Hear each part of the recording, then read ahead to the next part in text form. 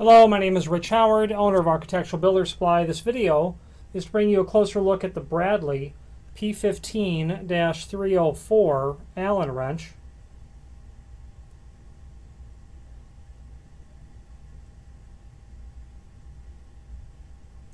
Used for a lot of the Bradley hand and hair dryers.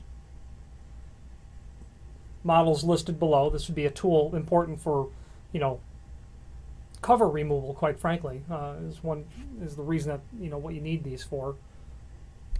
Common uh, Allen wrench.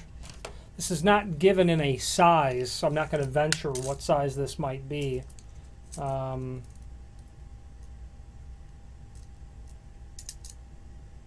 you know, I have an idea of what I think it is based on using dogging keys for exit devices. Overall length you can see is just less than 3 inch. It's about 2 and 15 sixteenths uh, is what that is.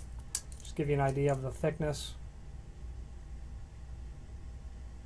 There you go. Uh, and this angle down here looks like it's about 7 eighths. Yep, 7 eighths of an inch. Allen wrench P15-304 used in Bradley hand and hair dryers. If you have any questions on this item or any other Bradley item, please feel free to reach out to us. Thank you very much.